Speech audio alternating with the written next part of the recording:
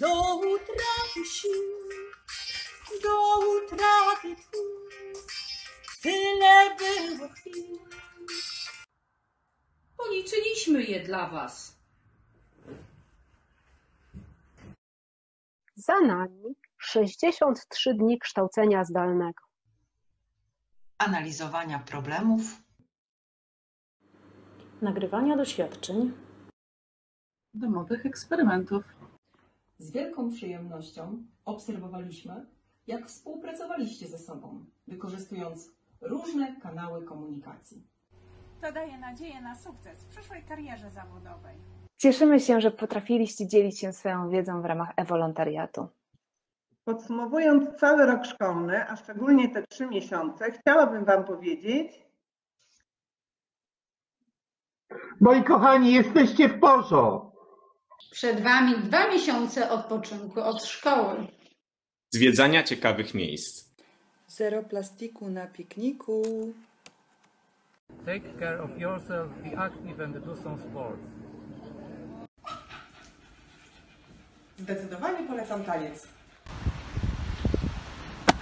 A ja frisbee. Wakacje to dobry czas na pływanie, ale bądźcie ostrożni.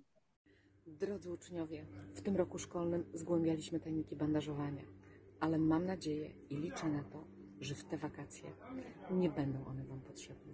Pozdrawiam serdecznie. Enjoy your vacation, have fun!